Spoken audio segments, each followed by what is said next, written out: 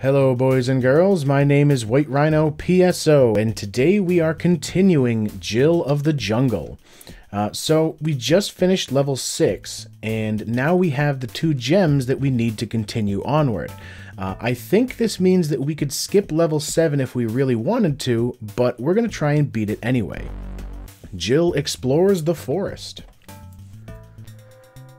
Oh, nice. Alright, so this is the first time we're getting a spinning blade, which works a little differently compared to the knives. Uh, the spinning blades kind of fire out and bounce around, uh, but you do not need to pick them up again in order to keep using them. Uh, you can only have as many on the screen as you have in your inventory, though. Uh, nice. And uh, like most weapons, I think they're generally a one-hit kill for a lot of the different enemies you encounter. Uh, so now we're also finding water for the first time. If you touch water on the side, it just makes a little sound effect.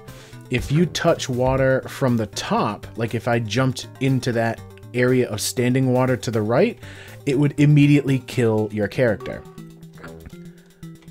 Uh, so you also have to be very careful of that.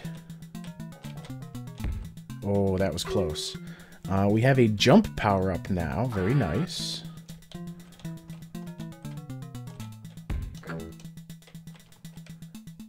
I believe this is one of the levels that was featured in the demo. Uh, for some reason, the demo to this game um, shows a single level from each of the three different episodes of the game, which is pretty nice because it's a good way to actually let players see um, what later episodes are going to be like. so now we have the ability, before we couldn't jump this high, but with the jump power-up, now we can make it over to the left. Now is a good time to save your game. You know what? Sure. Oh yeah, I forgot about the uh, the creepy eyes. Go up. Well, first I'm to go over here and kill a bunch of birds.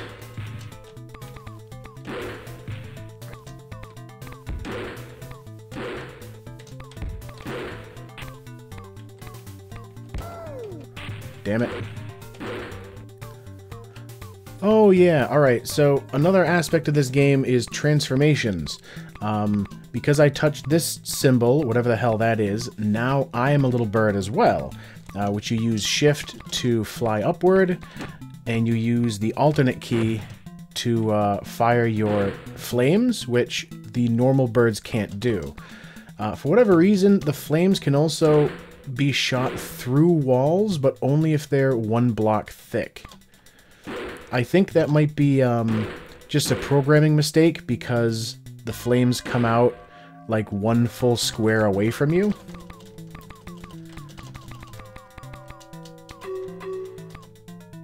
Uh, also, if you are a uh, phoenix and you touch water of any sort, you immediately die. Is there anything up here? Just more apples. Which, I mean, they are worth a decent number of points, so might as well keep getting them. Alright, and we're over by the water now, so no real reason to keep going to the right.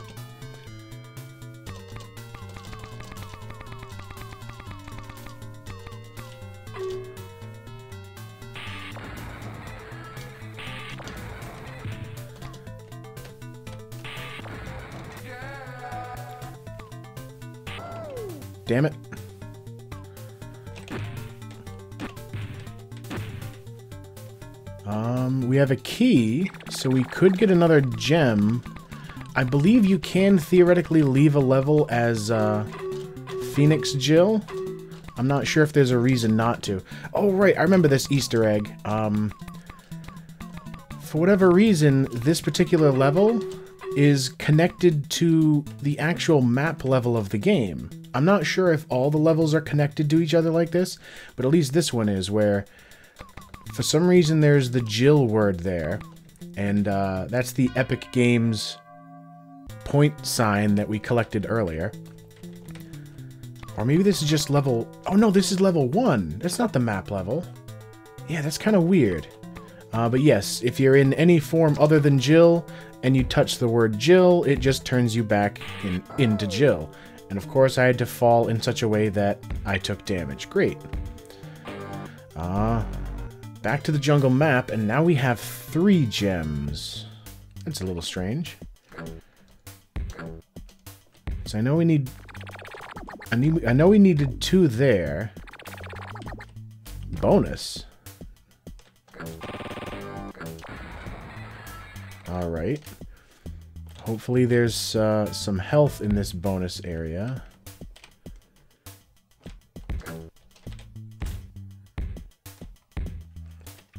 Kind of vine maze, I guess.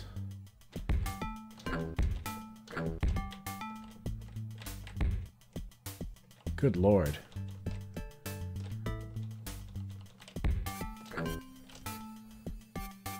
Where the hell is this taking me? Other than to a bonus area with a jump power-up? Oh.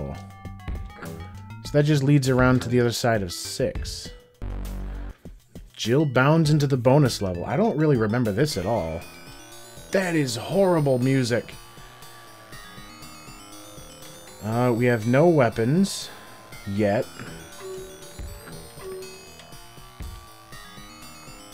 Oh, that's the exit. I don't want to go there yet.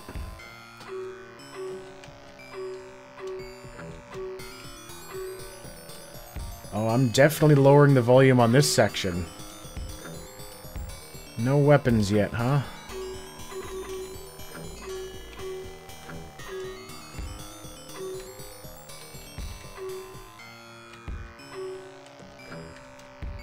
I didn't know that the crabs could do that.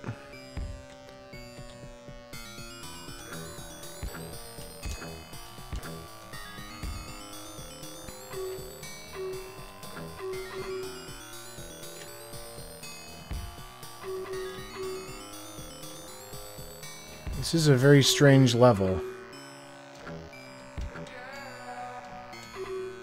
Now press up or down to toggle switches. Alright.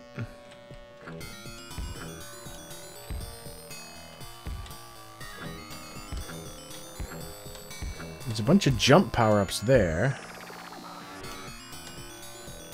Yeah, as you can see, the jump power-ups definitely stack.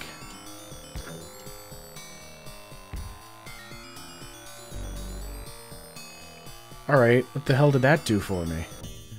Because I don't get to keep those jump power-ups. That is weird. Alright, I want to go back down the vines here just to see if there was anything else, because there was a fairly large cave full of vines. Yeah, no, there's nothing down here.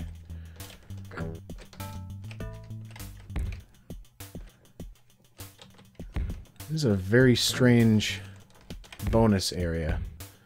Like, that level didn't really have much in the way of points, either. Just a whole bunch of apples.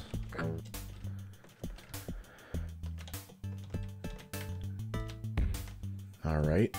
Uh, so now we continue back down here. Uh, news bulletin, Nukem enters Ford Clinic, and it's spelled the correct way, too. It's not spelled N-U-K-U-M like the first game really was. Another superhero has withdrawn from the video game business in an unprecedented exodus from the industry. Uh, the hero, D. Nukem, checked into the Betty Ford clinic yesterday. Jesus. I couldn't hick help it, said Nukem. Those people at Epic MegaGames are way too good to compete with. Upon hearing the news, Jill commented, Poor old guy, kinda makes me feel guilty for knocking his game off the top 10. So now they're trying to say that Jill of the Jungle is so good that it drove Duke Nukem to drinking. Uh, Jill sneaks into Arg's dungeon. Alright. I seem to remember that this was uh, one of my favorite levels because you get the spinning blade, but then all of these, um, all of these rocks break when you hit them with a weapon. So I used to like making sure I cleaned out every goddamn rock in the level.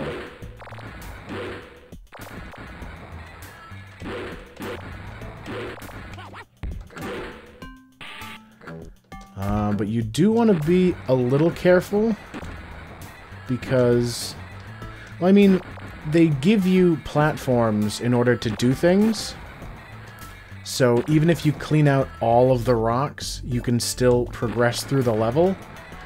But obviously it's going to be a little bit easier to make certain jumps if you have more rocks to climb on. I want to see what's down at the bottom before we go up through the top.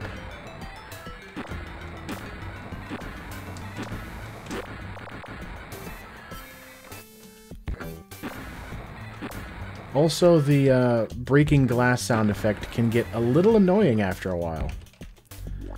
It looks like there's really nothing else except for clearing a path for this particular elevator.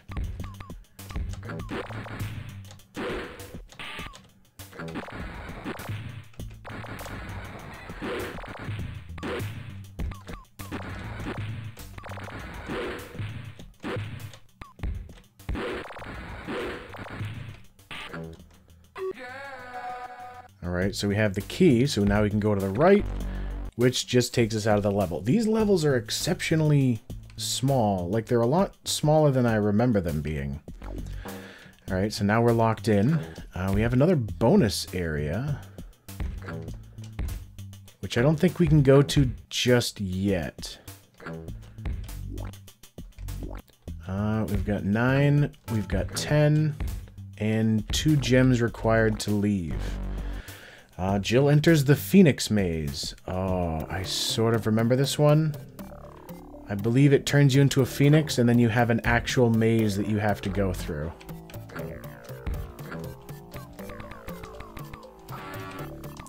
Damn it, that hint was basically saying flaming birds don't like water. Damn it. Now I remember why this maze sucked. Oh, I didn't realize you could actually kill the ghosts. Okay. Yeah, most of the keys... This is probably the most difficult level just because of the, um, the areas where you have to very carefully lower yourself near the water in order to get a key.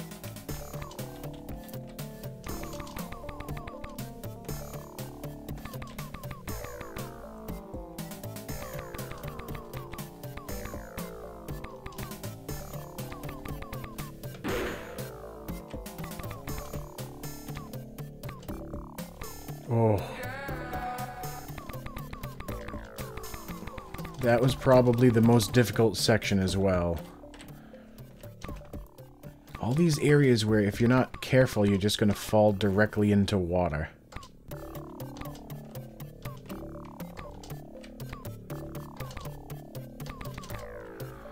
Oh, that made my hands so friggin' sweaty.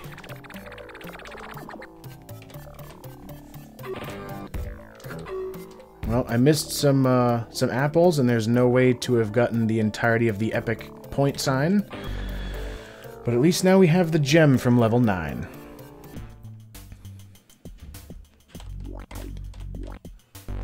Uh, Jill ventures into the Knights puzzle. Oh. To turn a switch on or off, move underneath the switch and press up or down. Oh, I remember... Okay.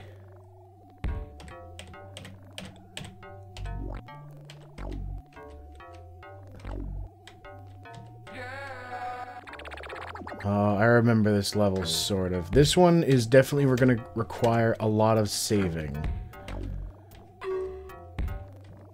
Alright, that one is now raised. So that one is now raised. Uh, oh, also, yeah, that's the lovely laughter sound effect that happens when, uh, when Jill dies a horrible and bloody death. Alright. We now have the multi-switch puzzles, which somehow I got very quickly. Like, I... That was entirely by luck. Nice, we have another one of the blades. And now we get to see our first uh, instance of the platforms that appear and disappear over time. Damn it. So they won't kill you if they appear while you're there. Damn it. Um, but it does make things a little more... Damn it. Does make things a little more difficult when you're really trying to... How many keys do I need? There's at least two, four. Alright. This is another one where you don't want to break all of the rocks.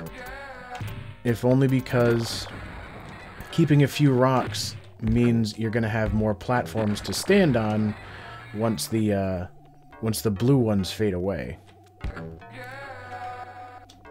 And of course, this was another uh, another area where, as a kid, I would make sure to destroy each and every uh, little boulder that was in the entire level. Back to the jungle map. Now my question is, how do I get to that bonus area at the bottom left here? Is it open now? No. That's weird.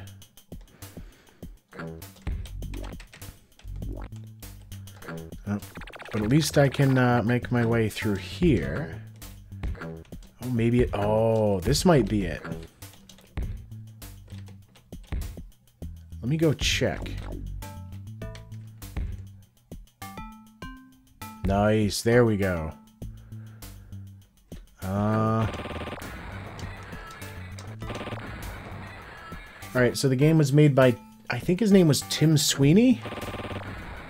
So that's kind of a neat little Easter egg. Tim 1992. I'm not sure, uh, that was probably less points than I got from the previous bonus level. Uh, news bulletin, video game industry collapses, Washington UPI. Except for one company, the video game industry yesterday collapsed into an immense pile of rubble. Gee, too bad, said the entire industry. Those people at Epic make such great games that nobody pays attention to us. The industry then began to cry and whine. Epic MegaGames, currently vacationing in the in the Bahamas, could not be reached for comment. Jesus. Jill creeps into the dark forest. I guess I never realized as a kid that's that horrible music again. Um, that was luck. Alright, I think I want to get... Oh, that spikes. Alright, that's the way out. I guess I have to be very careful in this level. Because otherwise I might get myself killed by spikes. Oh, that was a unintentional trick shot.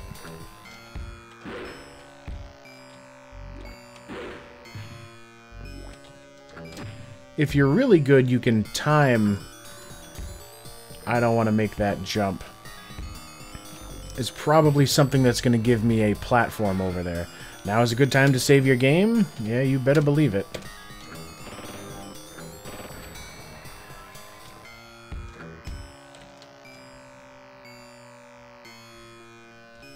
Oh, that guy looks fun.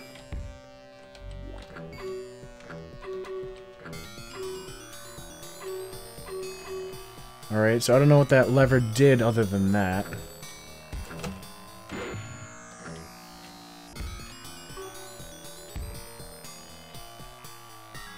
And we got jellyfish. We got, uh... Oh, shit. Nice. Alright.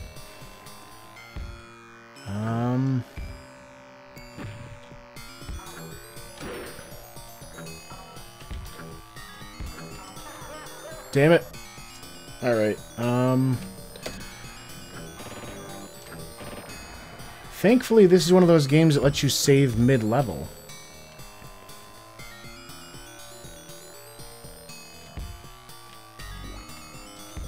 Uh, actually, it looks like we're just about out of time right now anyway, so, uh, as always, thank you for watching, and I will see you next time.